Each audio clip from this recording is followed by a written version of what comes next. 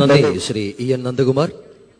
പ്രിയമുള്ളവരെ ഈ മനുഷ്യസാഗരത്തെ അടുത്തതായി അഭിസംബോധന ചെയ്യുന്നത് പൂജനീയ ചിദാനന്ദപുരി സ്വാമികളാണ്. കൊളത്തൂർ അദ്വൈതാശ്രമ അധ്യക്ഷനും കേരള മാർഗദർശക മണ്ഡലത്തിന്റെ അധ്യക്ഷനുമായിട്ടുള്ള ശ്രീമത് ചിദാനന്ദപുരി സ്വാമികളെ ഈ മനുഷ്യക്കടലിനെ അവേശോജ്വലമായ തന്റെ പ്രസംഗം കൊണ്ട് ഊർജസ്വലരാക്കുവാൻ ആദരപൂർവം സ്വാഗതം ചെയ്യുന്നു ക്ഷണിക്കുന്നു.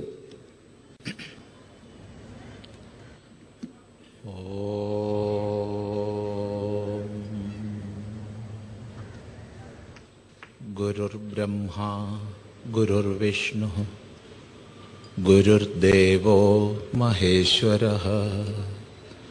ഗുരുസാക്ഷാത് പരം ബ്രഹ്മ तस्मै श्रीगुरवे नमः ഓം ഇന്ന് നമ്മളൊക്കെ ഈ ധർമ്മരക്ഷാ സംഗമത്തിൽ ഒത്തുചേർന്നിരിക്കുകയാണ് ഒരു മഹായുദ്ധരംഗത്തെ വലിയൊരു ഉപദേശത്തിന്റെ വേദിയാക്കി തീർക്കാൻ സാധിച്ച പൈതൃകത്തിന്റെ പിന്മുറക്കാരാണ് നമ്മൾ പ്രതിസന്ധികൾ ഏതിനെയും നേരിടാനും അത്തരം സന്ദർഭങ്ങളിൽ നിന്ന് കരുത്ത് നേടിക്കൊണ്ട് ശക്തമായി മുന്നോട്ടു പോകാനും അനേക മാർഗങ്ങൾ അനേക സന്ദർഭങ്ങളിൽ നമുക്ക് ആചാര്യന്മാർ കാണിച്ചു തന്നിട്ടുണ്ട്. വിശദമായൊരു പ്രഭാഷണത്തിനുള്ള അവസരം ഇവിടെ ഇല്ല. ഏറ്റവും സംക്ഷിപ്തമായി ചില ആശയങ്ങൾ മാത്രമാണ് പറയുന്നത്. നൂറ്റാണ്ടുകൾ നൂറ്റാണ്ടുകൾ അടിമത്തത്തിൽ കഴിഞ്ഞു നമ്മൾ. ഏറ്റവും ദീർഘകാലീനമായ അടിമത്തം മുസ്ലിം ഭരണകാലത്തായിരുന്നു. ആയിരക്കണക്കിന് ക്ഷേത്രങ്ങളെ തകർത്തിട്ടും മറ്റതുപോലുള്ള പല പ്രവർത്തനങ്ങൾ ചെയ്തിട്ടും ഹിന്ദുധർമ്മം തീർത്തും നശിക്കുന്നില്ല. പൂർണമായി മതം മാറ്റാൻ സാധിക്കുന്നില്ല ഹിന്ദുക്കളെ. ആ സന്ദർഭത്തിലാണ് തീർത്തും അനൗപചാരികമായ ഭിക്ഷാടനത്തിന്റെ ഭാഗമായി ധർമ്മ സന്ദേശത്തെ ഗൃഹങ്ങൾ തോറും പ്രചരിപ്പിച്ചിരുന്ന സന്യാസിമാരെ ഹിംസിക്കാൻ തീരുമാനിച്ചത്. കൂട്ടം കൂട്ടമായി സന്യാസിമാര് ഹിംസിക്കപ്പെട്ടു. ഹിംസിക്കപ്പെടുക മാത്രമല്ല അതിഹീനമായ രൂപത്തിൽ ശരീരപീഡകൾ ഏൽപ്പിക്കപ്പെട്ടു. അത്യന്തം കലുഷിതമായൊരു സാഹചര്യമായിരുന്നു അത്.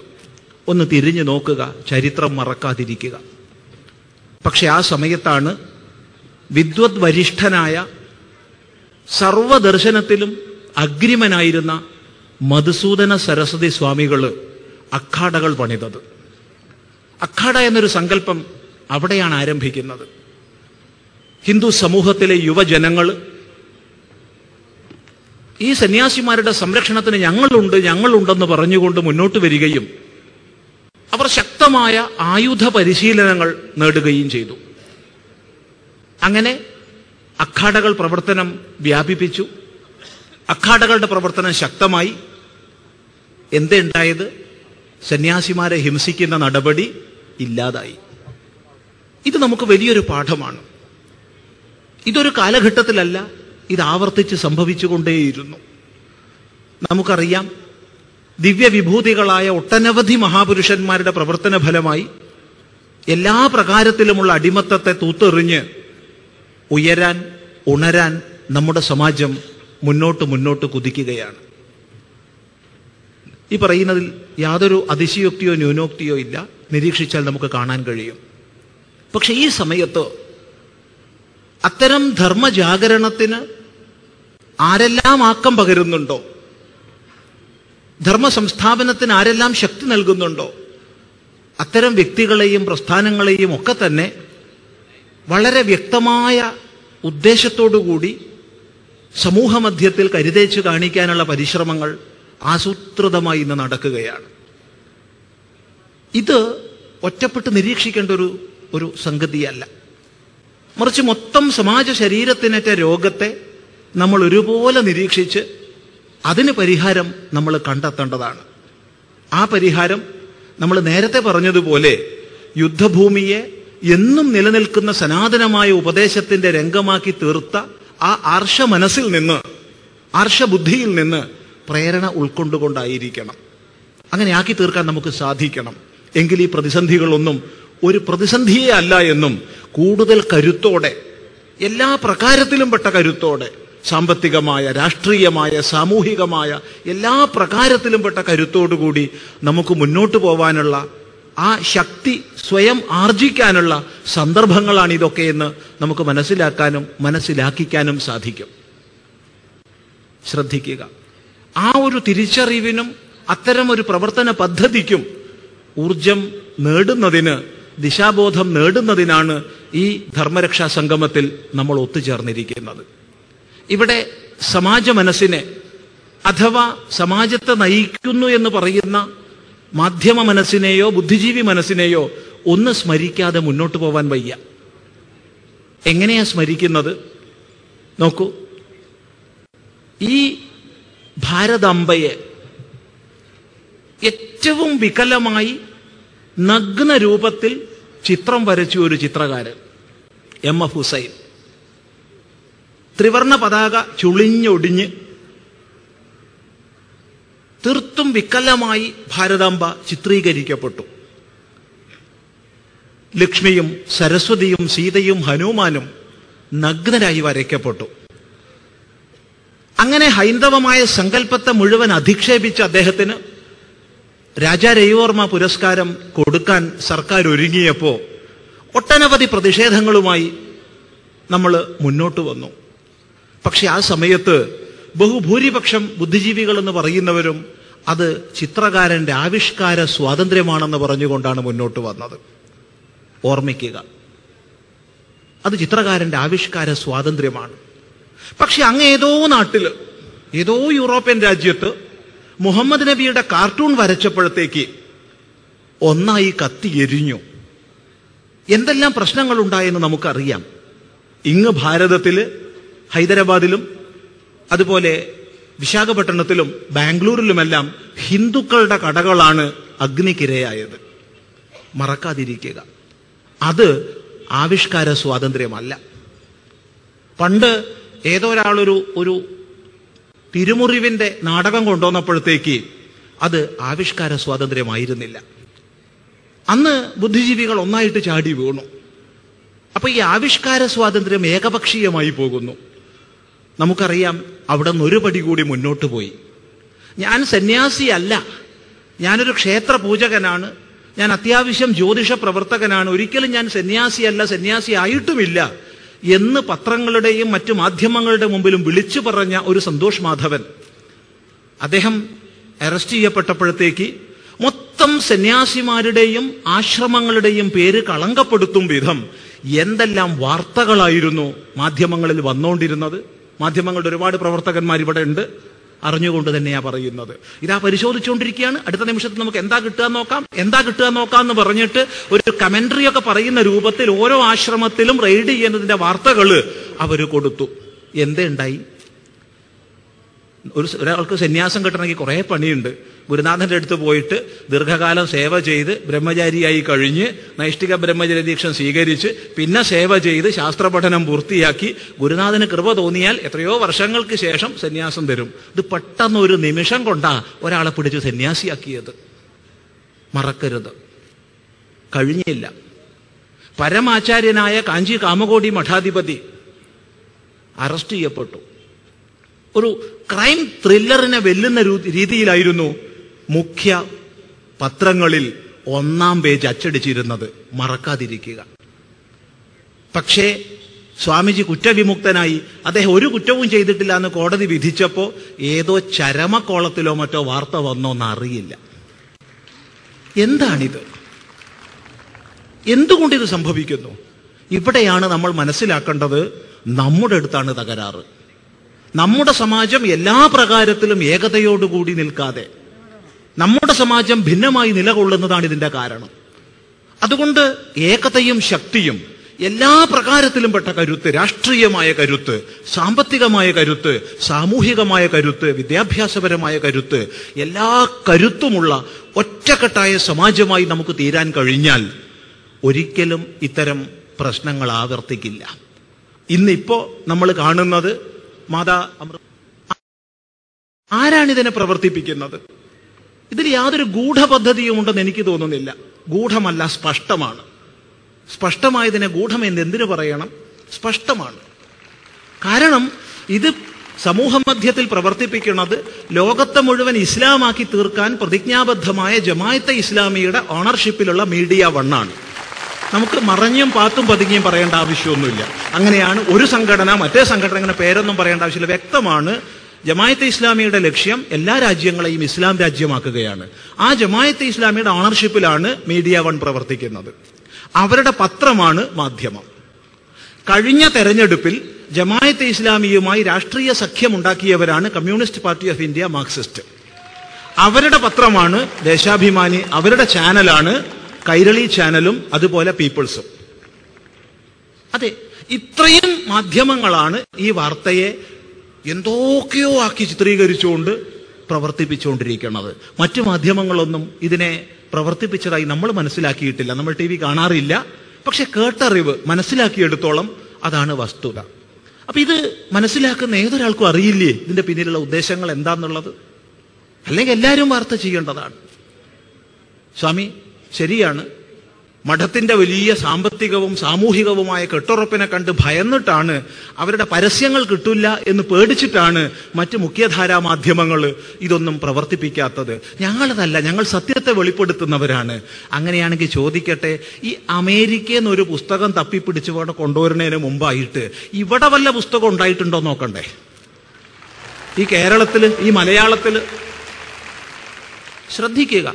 ക്രിസ്ത്യൻ സഭയിൽ ഒരാൾക്ക് ഒരു നിമിഷം കൊണ്ടോ ഒരു ദിവസം കൊണ്ടോ ഒരു കൊല്ലം കൊണ്ടോ കന്യാസ്ത്രീപ്പെട്ടോ വികാരിപ്പെട്ടോ കിട്ടില്ല.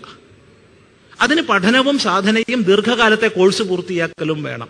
അങ്ങനെ കന്യാസ്ത്രീ പട്ടം കിട്ടിയ ആൾ മഠത്തിനുള്ളിലെ അതിഹീനങ്ങളായ നികൃഷ്ടങ്ങളായ അത്യാചാരങ്ങളെ പച്ച മലയാളത്തിൽ രേഖപ്പെടുത്തിക്കൊണ്ട് മലയാളത്തിൽ പുസ്തകം എഴുതിയിട്ട് കൊല്ലത്രയായി. ആമേൻ. എന്താണ് സത്യത്തെ പുറത്തു കാണിക്കാൻ ശ്രമിക്കുന്നവർ ഇതിന് പിന്നാലെ പോകാത്തത്? അതെന്താ സാമൂഹിക തിന്മയല്ലേ?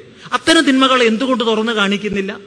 മഠത്തിൽ വലിയ തിന്മയുണ്ട്. അമൃതാനന്ദമയ മഠത്തിൽ വലിയ തിന്മയാ. തിന്മ മാത്രമേ ഉള്ളൂ. സന്തോഷം. വളരെ സന്തോഷം. അങ്ങനെയാണെങ്കിൽ നിങ്ങൾ എന്തുകൊണ്ട് ഈ തിന്മ കാണുന്നില്ല? ഒന്നിനെ മാത്രം കാണുന്ന ഈ കണ്ണ് എങ്ങനെ വന്നു? ഇതുകൊണ്ടാണ് നമ്മൾ പറയുന്നത് ഇതൊരു മഠത്തിനെതിരായ വിഷയമല്ല. ഇതൊരു സന്യാസി പരമ്പരയ്ക്കെതിരായ വിഷയമല്ല. ഇതൊരു മാതാ അമൃതാനന്ദമയി ദേവിക്കെതിരായ വിഷയമല്ല. ഇത് മൊത്തം ഏകപക്ഷീയമായി തീർന്ന നമ്മുടെ സമൂഹ മനസ്സിന്റെ വികൃതമായൊരു ഒരു സ്പന്ദനമാണ്. ഈ വികൃത സ്പന്ദനത്തെ ഇല്ലാതാക്കാൻ നമുക്ക് സാധിക്കണം. അതുപോലെ തന്നെ അമേരിക്കയിൽ എഴുതപ്പെട്ട അല്ലെങ്കിൽ പ്രസിദ്ധീകരിക്കപ്പെട്ട ഒരു പുസ്തകത്തെ ചൊല്ലി വലിയ കോലാഹലം ഉണ്ടാക്കുന്നവരോട് നമുക്ക് ഒന്നേ ചോദിക്കാനുള്ളൂ. ഈ പുസ്തകം എഴുതിയ അമ്മ അവരും ഒരു അമ്മ തന്നെയാണ്. നമ്മളൊരു ഭേദവും കാണുന്നില്ല. ആ അമ്മ ദീർഘകാലം അമൃതാനന്ദ മൈമ്പടത്തിൽ താമസിച്ചു അത്രേ. എന്നല്ല മാതാ അമൃതാനന്ദവി ദേവിയുടെ വളരെ അടുത്ത സഹവാസം പുലർത്തി അത്രേ. അത് കഴിഞ്ഞ് അവർ മഠത്തിൽ കണ്ട ഈ അത്യാചാരങ്ങൾ അത്യന്തം മോശമായ രീതികളൊക്കെ കണ്ടു കഴിഞ്ഞാൽ പ്രത്യേകിച്ച് ശാരീരികമായി സ്വയം ഉപദ്രവിക്കപ്പെട്ടാൽ എന്താ ചെയ്യേണ്ടത്? സ്വാഭാവികമായി പോലീസിൽ കേസ് കൊടുക്കണം. പോലീസ് നടപടി എടുക്കുന്നില്ലെങ്കിൽ കോടതിയിൽ ആ കേസ് കൊണ്ടുവരണം. ഇതാണ് ചെയ്യേണ്ടത് നമ്മുടെ നിയമം അനുസരിച്ച്. എന്തുകൊണ്ട് ചെയ്തില്ല? അവിടെയും പറഞ്ഞേക്കാം മഠത്തിന്റെ സ്വാധീനം. അങ്ങനെയാണെങ്കിൽ ഒറ്റ ചോദ്യമേ ചോദിക്കാനുള്ളൂ. സ്വയം രക്ഷപ്പെടണ്ടേ? അത്യാചാരം നടക്കുന്ന സ്ഥലത്ത് പ്രത്യേകിച്ച് താൻ തന്നെ ശാരീരികമായി ഉപദ്രവിക്കപ്പെടുന്ന ഒരു സാഹചര്യത്തിൽ ഒരു വ്യക്തി ജീവിക്കാൻ പാടുണ്ടോ? അവിടുന്ന് മാറിപ്പോണ്ടേ? പിന്നെയും എങ്ങനെയാ ഒമ്പത് കൊല്ലത്തോളം അവിടെ താമസിക്കുക? അങ്ങനെ താമസിച്ചു. അതെന്തുകൊണ്ട്? ശരി അവിടുന്ന് പോയി. പോയതിന് ശേഷം പിന്നെയും വർഷങ്ങൾ കഴിഞ്ഞ് പുസ്തകം ഇറക്കി. ഈ പുസ്തകം തേടി പിടിച്ചു കൊണ്ടുവന്നു. ഇവിടെ ഇപ്പൊ പ്രശ്നം ഉണ്ടാക്കണതോ? വർഷങ്ങൾ പിന്നെയും കഴിഞ്ഞു. ഈ ലോക്സഭാ തെരഞ്ഞെടുപ്പ് അടുക്കുന്ന സമയത്ത്. ഇതൊക്കെ സാമാന്യ ബുദ്ധിയുള്ളവർക്ക് ചിന്തിച്ചാൽ മനസ്സിലാവില്ല ഇതിന്റെയൊക്കെ പിന്നിൽ എന്താന്ന്. അതുകൊണ്ട് ഒരു ഗൂഢാലോചനയും ഇതിന്റെ പിന്നിലില്ല. സ്പഷ്ടമായ ആലോചനയാണ്. സ്പഷ്ടമാണ്. സ്പഷ്ടമായ ഇത്തരം ആലോചനകളെ യഥാവത് മനസ്സിലാക്കാൻ ഹിന്ദു സമൂഹത്തിന് ഇനിയെങ്കിലും കഴിയണം. ശക്തമായിട്ട് അതിനെ നേരിടാൻ നമുക്ക് കഴിയണം. മനസ്സിലാക്കുക. ആ ശക്തി ആർജിക്കാനാണ് നമ്മുടെ ഈ സദസ്സ്. ശക്തി എവിടെ നശിക്കുന്നുണ്ടോ അവിടെ നമുക്ക് ഒരിക്കലും ക്ഷേമരാഷ്ട്രത്തെ ഉണ്ടാക്കാൻ സാധിക്കില്ല. നമുക്ക് ഭാരതത്തെ ഒരു ക്ഷേമരാഷ്ട്രമാക്കി തീർക്കാൻ സാധിക്കണമെങ്കിൽ അറിവും കരുത്തും ഒത്തുചേർന്ന സമൂഹം നമുക്ക് വേണം. നമ്മുടെ സമാജം അറിവും കരുത്തും ഒത്തുചേർന്ന സമാജമാകണം. എത്ര യോഗേശ്വര കൃഷ്ണോ എത്ര പാർത്ഥോ ധനുർധര തത്ര ശ്രീ വിജയ ഭൂതിഹി ധ്രുവ നീതിഹി എന്ന് ഭഗവത്ഗീത മുഴുവൻ ശ്രവിച്ച സഞ്ജയൻ പറഞ്ഞില്ലേ? അത് നമ്മൾ മറക്കാമോ? ഒരു ക്ഷേമരാഷ്ട്രത്തിന് വേണ്ട നാല് ഘടകങ്ങൾ ഇതാണ്. ഒരു രാഷ്ട്രം ക്ഷേമരാഷ്ട്രമായിരിക്കണമെങ്കിൽ അവിടെ വേണ്ട നാല് ഘടകങ്ങൾ ഇതാണ്. ശ്രീ ഐശ്വര്യം വേണം. വിജയ ഏത് മേഖലയിലും വിജയം വേണം. ശാസ്ത്ര സാങ്കേതിക എല്ലാ മേഖലകളിലും വിജയം വേണം. ഭൂതിഹി മഹാത്മ്യം വേണം. സർവോപരി ധ്രുവ നീതിഹി നിത്യമായ നീതി നിർവഹണം വേണം. നിത്യമായ നീതി നിർവഹണം ഉണ്ടെങ്കിലേ ഒരു ക്ഷേമരാഷ്ട്രം നിലനിൽക്കൂ. ഇവിടെ നീതി നിർവഹണം ഉണ്ടോ? ഇവിടെ നമ്മൾ ഒന്നാണ് ഒരു പൗരന്മാരാണെന്ന് നമ്മളൊക്കെ പറയും. ഇവിടെ നീതി നിർവഹണം ഉണ്ടോ? ഇവിടെ ഹിന്ദുവിന് ഒരു നിയമം ക്രിസ്ത്യാനിക്ക് ഒരു നിയമം മുസൽമാൻ ഒരു നിയമം എന്നല്ലേ? ഓർമ്മിക്കുകയാണ് നമ്മുടെ നാട്ടിൽ ഏക സിവിൽ കോഡിന് വേണ്ടി ശക്തമായി വാദിച്ച ഒരു മഹാവ്യക്തിത്വത്തെ. സഖാവ് ഇ എം എസ് നമ്പൂതിരിപ്പാട്. അദ്ദേഹം ആവർത്തിച്ച് ആവർത്തിച്ച് ഏക സിവിൽ കോഡിന് വേണ്ടി എഴുതി. ഇവിടെ രേഖ സിവിൽ കോഡ് ഉണ്ടായേ തീരൂ. ഇന്ന് അദ്ദേഹത്തിന്റെ ഫോട്ടോ വെച്ച് അദ്ദേഹത്തിന് മന്ദിരങ്ങൾ പണിയാൻ കോടിക്കണക്കിന് രൂപ പിരിക്കുന്നവർ രേഖ സിവിൽ കോഡിനെ കുറിച്ച് പറയോ? പറയാൻ ധൈര്യമുണ്ടോ? ചിന്തിക്കുക. മനുഷ്യ സമൂഹത്തെ ന്യൂനപക്ഷമെന്നും ഭൂരിപക്ഷമെന്നും വിഭജിച്ച് ഭാരതത്തിലെ പൗരനെ ഇല്ലാതാക്കി. എന്നിട്ട് വാരിക്കോരി കൊടുക്കുന്നു.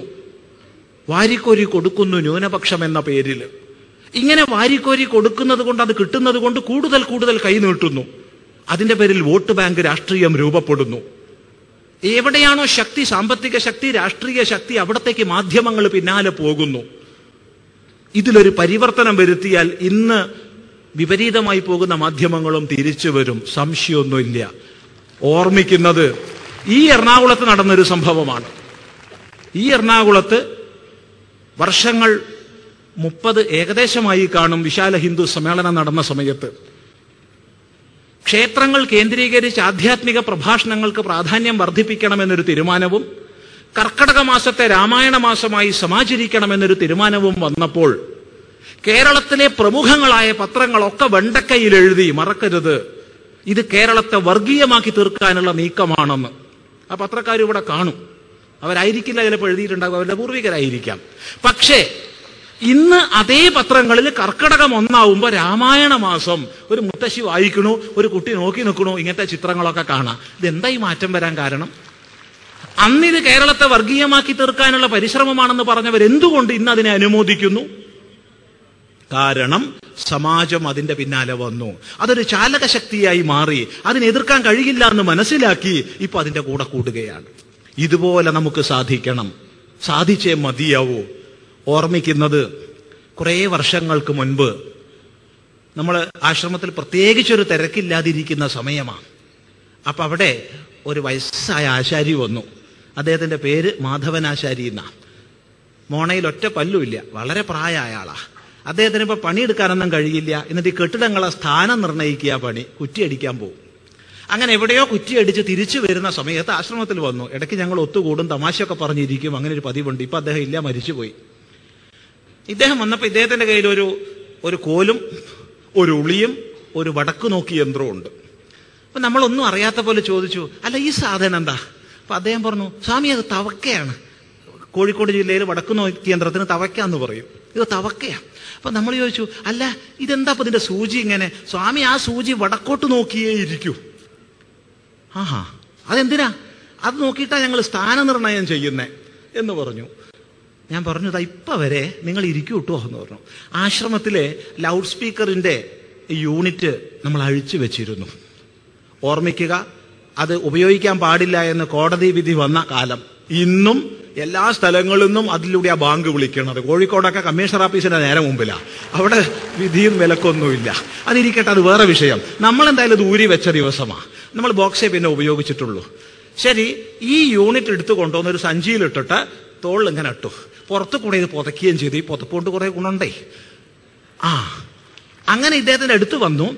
അടുത്ത് വന്നപ്പോ ഈ വടക്കോട്ട് നോക്കി നിൽക്കുന്ന സൂചി കിഴക്കോട്ടായി. അയ്യോ സ്വാമി ഇത് കേടുവന്നു. നാളെ എനിക്ക് കുറ്റിയടിക്കാനുള്ളതാണ്. അപ്പൊ അദ്ദേഹത്തിന് പരിഭ്രമിക്കുന്നത് കണ്ട ഒരു സുഖ. ഈ പല്ലൊന്നും ഇല്ലാണ്ട് പാവം പരിഭ്രമിക്കണ കാണുമ്പോൾ ഒരു സുഖ. അപ്പൊ നമ്മൾ എന്ത് ചെയ്തു? കുറച്ചും കൂടി ഇങ്ങോട്ട് തിരിഞ്ഞിരുന്നു. ഇങ്ങോട്ട് തിരിഞ്ഞിരുന്നപ്പോ വടക്കോട്ട് നോക്കിയ സൂചി തെക്കോട്ടായി. പാവം വല്ലാതെ പരിഭ്രമിച്ചൊരു രോഗമൊന്നും വരരുതല്ലോ എന്ന് വിചാരിച്ചിട്ട് നമ്മളത് മാറ്റിവെച്ചു. അപ്പൊ സൂചി പടക്കോട്ട് തന്നെയായി. പറഞ്ഞതിന്റെ അർത്ഥം മനസ്സിലാക്കുക. ഒട്ടും പ്രസംഗിക്കാനൊന്നും സമയമില്ലാത്ത ഈ സന്ദർഭത്തിൽ എന്തിന് ഇത്തരം ഒരു കഥ പറഞ്ഞു എന്ന് ചോദിച്ചാൽ ബുദ്ധിയുള്ളവർക്ക് മനസ്സിലാവും. ഇപ്പോ ഈ വടക്ക് നോക്കി നിൽക്കുക. അതൊന്ന് മാറ്റിയെടുക്കണം. എന്തുകൊണ്ട് വടക്ക് നോക്കി നിൽക്കുന്നു? ശക്തമായ ഒരു കാന്തിക ധ്രുവം അങ്ങ് വടക്കുള്ളത് കൊണ്ടാണ് അതിനേക്കാൾ ശക്തമായൊരു ധ്രുവം ഇപ്പുറത്തുണ്ടാക്കാൻ കഴിഞ്ഞാൽ അങ്ങോട്ടുള്ള സൂചി ഇങ്ങോട്ട് നിൽക്കും. അന്ന് ഇന്നത്തെ മാധ്യമങ്ങളും രാഷ്ട്രീയക്കാരും ഒക്കെ ഒറ്റക്കെട്ടായിട്ട് ഈ സനാതന ധർമ്മത്തിന്റെ പിന്നാലെ വരും. യാതൊരു സംശയവും ആ വിഷയത്തിലില്ല. ആ കാലഘട്ടത്തിലേറെ താമസവുമില്ല. അന്ന് രാഷ്ട്രീയക്കാര് കേവലം അരമനകളിൽ മാത്രമല്ല പോവുക. അതെ സംശയമൊന്നുമില്ല. അന്ന് മാധ്യമങ്ങൾ നമ്മളെന്താ പറയണം നോക്കി നിൽക്കും. ഈ വ്യക്തി മാറും വേറെ വ്യക്തി മാറും. പക്ഷേ ഹൈന്ദവ സമാജം അതിശക്തമായി മുന്നോട്ട് പോകുമ്പോൾ ഒന്നാണ് നാം എന്ന ഭാവനയിൽ മുന്നോട്ട് പോകുമ്പോൾ സാമ്പത്തികവും സാമൂഹികവും രാഷ്ട്രീയവും അടിവരയിട്ട് പറയട്ടെ രാഷ്ട്രീയവും ആയ കരുത്തോടുകൂടി നമ്മൾ പോകുമ്പോൾ ഇതൊക്കെ കേട്ടിട്ട് ഇവിടുന്ന് അങ്ങ് പിരിഞ്ഞു പോകും. വോട്ട് കുത്താൻ നേരത്ത് ഇതൊന്നും ഓർമ്മ ഉണ്ടാവുകയില്ല. അത് പറ്റില്ല. ഏത് രാഷ്ട്രീയ പാർട്ടിയിൽപ്പെട്ടവരോ ആയിക്കോട്ടെ. അവർ ബി ജെ പി എന്നോ കോൺഗ്രസ് എന്നോ മാർക്സിസ്റ്റ് എന്നോ ഒന്നും വ്യത്യാസം നമ്മൾ പറയുന്നില്ല. ഹൈന്ദവ താല്പര്യത്തെ മുൻനിർത്തുന്നവർ അവർക്കേ നമ്മുടെ വോട്ടുള്ളൂ എന്ന് പറയാൻ നമ്മൾക്ക് സാധിക്കണം. അതെ നിങ്ങൾക്ക് എത്ര പേർക്ക് ഇഷ്ടപ്പെടുന്ന അറിയില്ല എത്ര പേർക്ക് ഇഷ്ടപ്പെടുന്ന അറിയില്ല നമ്മൾ പ്രത്യേകിച്ച് B J P Congress Marxist എന്നൊന്നും പറയുന്നില്ല. ഇത് പറയുമ്പോൾ നമ്മുടെ മനസ്സിൽ വന്നത് തുറന്നു പറയണമല്ലോ. നിങ്ങൾക്ക് വിരോധം തോന്നിയാലോ ഒന്നുമില്ല. ശ്രീ ആര്യാടൻ മുഹമ്മദിനെയാണ്. നമ്മുടെ മന്ത്രിയാണ്. കോൺഗ്രസ് പാർട്ടി മെമ്പറാണ്. പക്ഷെ അദ്ദേഹം വ്യക്തമായി പ്രസംഗത്തിൽ പറയുന്നു നമ്മുടെ പൂർവികർ ഹിന്ദുക്കളായിരുന്നെന്ന് മറക്കരുതെന്ന്. അതുപോലുള്ള വ്യക്തികൾ ഹിന്ദു താല്പര്യത്തെ മുൻനിർത്തുന്നവർ അവർക്ക് വേണം വോട്ട് ചെയ്യുക. സ്വാമി ആര്യാടനെ വോട്ട് പിടിക്കാൻ വന്നു നിങ്ങൾ ആരും വിചാരിക്കരുത്. അങ്ങനെ വിചാരിച്ച ഇവിടെ ഒരു പ്രശ്നമൊട്ട് ഇല്ലതാനും പക്ഷെ പറഞ്ഞതിന്റെ താല്പര്യം ഇവിടെ ന്യൂനപക്ഷം ഭൂരിപക്ഷം എന്ന വിഭാജനം ഇല്ലാതാവണം. ഇവിടെ ഭാരതത്തിൽ ഒരു നിയമമായിരിക്കണം. ഭാരതീയർ ഒന്നായിരിക്കണം ആരാണോ സാമ്പത്തികമായി താഴെത്തട്ടിലുള്ളത് അവരെ പിടിച്ചുയർത്താനുള്ള സംവരണ നിയമങ്ങൾ വേണം. അല്ലാത്ത എല്ലാം ഇല്ലാതാവണം. അതിനനുസരിച്ച് ഭരണഘടന മാറ്റി എഴുതപ്പെടണം. അല്ലാത്ത കാലത്തോളം ഈ പറഞ്ഞ മാധ്യമങ്ങളും ഈ പറഞ്ഞ ബുദ്ധിജീവികളും ഒക്കെ ഏകപക്ഷീയമായ ഈ അവസരവാദവുമായി പിന്നാലെ പോയിക്കൊണ്ടേയിരിക്കും. അതില്ലാതാക്കാൻ ശാശ്വതമായി ഈ മാർഗം മാത്രമേ ഉള്ളൂ എന്ന് പറഞ്ഞുകൊണ്ട് ആ ഒരു ശക്തി സ്വരൂപണത്തിനുള്ള സന്ദർഭമായി ഈ ഒരു സമ്മേളനത്തെ തീർക്കണമെന്ന് പറഞ്ഞ് ഇത് കേവലം ഒരമ്മയ്ക്കോ അല്ലെങ്കിൽ അമ്മയുടെ ആശ്രമത്തിനോ എതിരായ നീക്കമല്ല. ഇത് സനാതന ധർമ്മത്തിന്റെ സമുദ്ധാരണത്തിന് പരിശ്രമിക്കുന്ന സർവരുടെ നേർക്കുമുള്ള നീക്കമാണെന്നും ഇതിൽ ഗൂഢമായി ഒന്നുമില്ലെന്നും ഇത് സുസ്പഷ്ടമാണെന്നുമുള്ള യാഥാർത്ഥ്യം മനസ്സിലാക്കിക്കൊണ്ട് ഇതിന് പിന്നിൽ ഇതിനെ പ്രവർത്തിപ്പിക്കുന്നവർ ഇന്നെന്ന ആൾക്കാരാണെന്ന് പറയാനുള്ള ധൈര്യം വേണം. മരണം ഒരിക്കലേ ഉണ്ടാവുള്ളൂ. അനേകം പ്രാവശ്യമൊന്നും ഉണ്ടാവില്ല. അതുകൊണ്ട് നമുക്ക് യാതൊരു ഭയം അതൊന്നും പറയാനില്ല. ഉള്ളത് ഉള്ള പോലെ പറയുകയാണ്. ജമായത്തെ ഇസ്ലാമിയാണ്. ജമായത്തെ ഇസ്ലാമിയായി കൂട്ടുകൂടുന്ന മാർക്സിസ്റ്റ് പാർട്ടിയാണ്. അവർ രണ്ടുപേരും കൂടിയാണ് ഇതിനെ പ്രവർത്തിപ്പിക്കുന്നത് എന്നുള്ളത് യാതൊരു സംശയവും അതുകൊണ്ട് ശക്തമായി ഈ തിരിച്ചറിവോടുകൂടി മുന്നോട്ട് പോകണം എന്ന് മാത്രം പറഞ്ഞ് ഇതൊന്നും കേട്ട് നമ്മൾ വ്യാകുലപ്പെടരുത്. അതിനു വേണ്ടിയിട്ടാണ് ആദ്യം പറഞ്ഞത് മഹായുദ്ധഭൂമിയെ ചിരന്തനമായി നിലനിൽക്കുന്ന ഉപദേശ ഭൂമികയാക്കി തീർക്കാൻ കഴിഞ്ഞ മഹി മഹത്വപൂർണമായ ആർഷബുദ്ധിയുടെ പിന്മുറക്കാരാണ് നമ്മളെന്ന് ഓർമ്മിച്ചുകൊണ്ട് ആ ശക്തിയും ആർജവവും സ്വരൂപിച്ചുകൊണ്ട് വേണം ഇവിടെ നിന്ന് പിരിഞ്ഞു പോകാൻ മാത്രം പറഞ്ഞ് ഉപസംഹരിക്കട്ടെ സന്തോഷം.